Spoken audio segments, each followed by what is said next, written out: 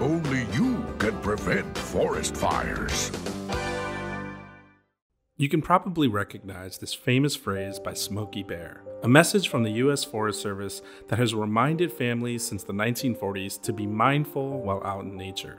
As dated and cheesy as the phrase is, it's actually more true now than ever before. Science shows us that wildfires are getting stronger and more frequent all around the world. And it's becoming clear that climate change is the cause.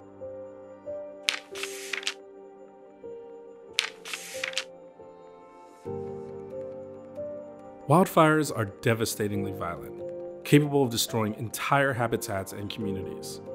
Look no further than the most recent major wildfires in the United States. In California, wildfires burned more than 3.4 million acres, and the resulting smoke in the atmosphere created some really unsettling imagery.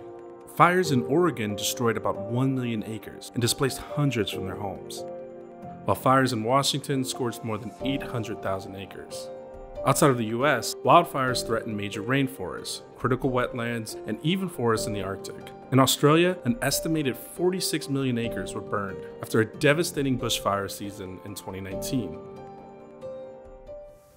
A number of factors influence wildfires, including temperature, soil moisture, and what's known as forest fuels.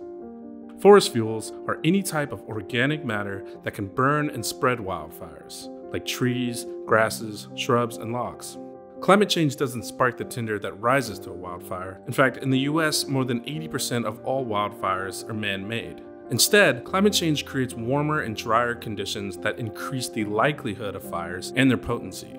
Global temperatures have been rising steadily as greenhouse gas emissions accumulate in the atmosphere, disrupting precipitation patterns in ways that create more droughts. This dynamic ultimately feeds itself. Just as climate change intensifies wildfires, wildfires intensify climate change. Forests are carbon sinks, which means they absorb enormous amounts of carbon dioxide from the air. But as trees burn, they both release carbon and become unable to store more carbon.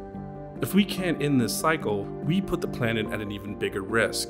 The loss of rainforests, wetlands, and other ecosystems destroys the very biodiversity that humanity depends upon for its own survival.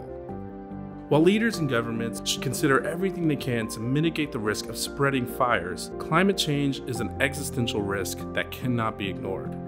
Unless greenhouse gas emissions are curbed in the years ahead, wildfires are likely to keep getting worse.